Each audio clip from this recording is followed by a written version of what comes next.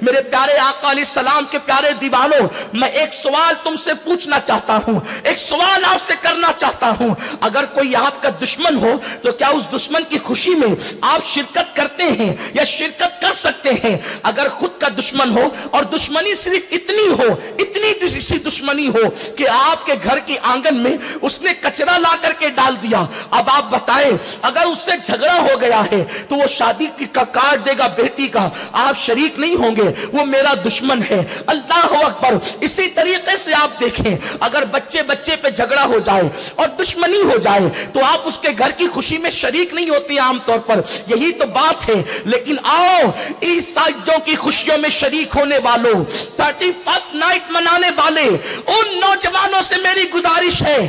اے میری قوم کے جوانوں، اگر ایمانی غیرت تمہارے اندر موجود ہے، تمہارا مذہب تو یہ کہہ رہا ہے کہ اللہ ہمیں عیسائی اور یہودی کو راستے پر نہ چلا، لیکن پھر بھی اگر اسلام اتنی بات کرتا تو یقیناً ہمارے لیے یہی قابل عمل تھی۔ قرآن کا فرمان ہمارے لیے حرف آخر ہے۔ قرآن کا فرمان ہمارے لیے حتمی اور یقینی ہے۔ قرآن نے جس کو دوست کہہ دیا، وہ ہمارا دوست ہے۔ قرآن نے جس کو دشمن کہہ دیا، وہ ہمارا دشمن ہے۔ غیر المکتوب علیہم والضالین عیسائیوں کے تہوار سے رکنے کے لیے کافی تھا، روکنے کے لیے کافی تھا، لیکن تم نہ رکے۔ تو آج میں تمہیں بتاؤں، تمہارا دنیا میں سب سے بڑا دشمن اگر کوئی ہے وہ یا تو یہودی ہے یا تو عیسائی ہے اور اب تو یہودیوں سے بڑھ کر عیسائی جو ہے، وہ تم پہ ظلم کر رہے ہیں۔ کہاں ہے وہ نوجوان؟ ان کے کانوں تک کے میرا درد دل پہنچا دیا جائے۔ فقیر بے نوا کی صدا پہنچا دی جائے۔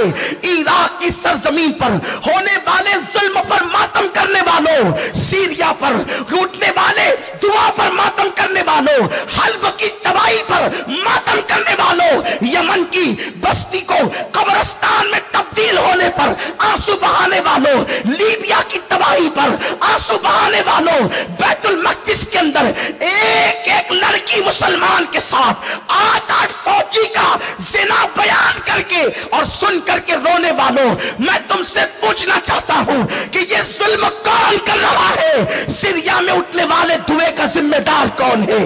یمن پہ اٹھنے والے دھوئے کا ذمہ دار کون ہے؟ مسلم بستیوں کو قبرستان میں جو تبدیل کیا جا رہا ہے، اس کا ذمہ دار کون ہے؟ یہ وہی نام نہاد عیسائی ہے جن کے ساتھ مل کر جن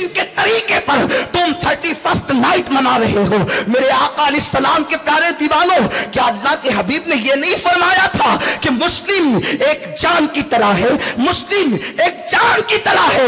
تکلیف کسی کو بھی ہو، درد پورے جسم کو ہوتا ہے۔ مسلمان ایک جسم کی طرح ہے۔ اگر ایک جسم کے کسی بھی عضو کو تکلیف پہنچے گی، تو پورا جسم بے قرار ہو جائے گا۔ پورا جسم بے چین ہو جائے گا۔ تین تین مرتبہ ایک دن میں پیٹ بھر کر کے کھانے والوں ذرا ان شام کے مسلمان، معصوم بچوں کی بھوک کی تڑپ تو دیکھ لیتے، جن کو کھانے کے لیے کچھ میسر نہیں۔ گویا کہ شاب ابھی طالب کی یادیں اب بھی ملک شام میں زندہ ہو رہی ہے۔ کربلا کی یادیں اب بھی ملک شام اور یمن میں زندہ ہو رہی ہے۔ اس کے ذمہ دار عیسائی ہے وہ نام نہاد عیسائی جنہوں نے یہ تحجت کر لیا ہے۔ روح زمین سے مسلمانوں کو مٹا دیں گے۔ مسلمانوں کا خاتمہ کر دیں گے۔ اور وہ اپنے منصوبے پر مکمل طور پر لگے ہوئے ہیں۔ بے غیرت مسلم نوجوانوں کو بتا دو کہ عید میلاد النبی کوئی عیسائی مناتا ہوا نظر نہیں آتا اور تم تھرٹی فرسٹ نائٹ مناتے ہوئے نظر آتے ہو اور وہ بھی کس طرح سے شراب میں ڈوب کر، شباب میں ڈوب کر، شاعری میں ڈوب کر کانے میوزک میں ڈوب کر بھول گئے قبر کی تاریخ وادی۔ اکتیس دسمبر کی رات منانے والوں قبر کی پہلی رات تو یاد کر لو۔ قبر کی پہلی تاریخ رات تو یاد کر لو۔ وہاں کا دن بھی رات سے بدتر ہے۔ تو وہاں کی رات کا عالم کیا ہوگا؟ میرے امام کہتے ہیں، اندھیرا گھر، اکیلی جان، دم گھٹا دل اکتاتا۔ خدا کو یاد کر پیارے، وہ ساعت آنے والی ہے۔ ہمارے آقا نے یہودیوں سے، عیسائیوں سے کتنی نفرت کی ہے۔ اور آج ہم، معاذ اللہ، عیسائیوں کے نقش قدم پہ چل رہے ہیں۔ ان کے پیچھے پیچھے چل رہے ہیں۔ تمہیں پتا ہے، اللہ کے حبیب مصطفیٰ جان رحمت صلی اللہ علیہ وسلم جب مدینہ منورہ پہنچے، ذرا دل کے کانوں سے سننا، آقائے کریم مدینہ منورہ پہنچے، تو سرکار نے پوچھا کہ یہ یہودی دسویں محرم کو روزہ کیوں رکھتے ہیں؟ تو صحابہ نے عرض کیا، مدنی صحابہ نے، انصار نے بتایا، یا رسول اللہ، یہ اس لیے روزہ رکھتے ہیں کہ اس دن جناب موسیٰ علیہ السلام کو فرعون اور فرعونیوں سے نجات ملی تھی۔ آقا کریم نے فرمایا موسیٰ ہمارے پیغمبر ہے ان سے زیادہ ہم حقدار ہیں کہ موسیٰ کا دن منائیں یوم موسیٰ ہم منائیں۔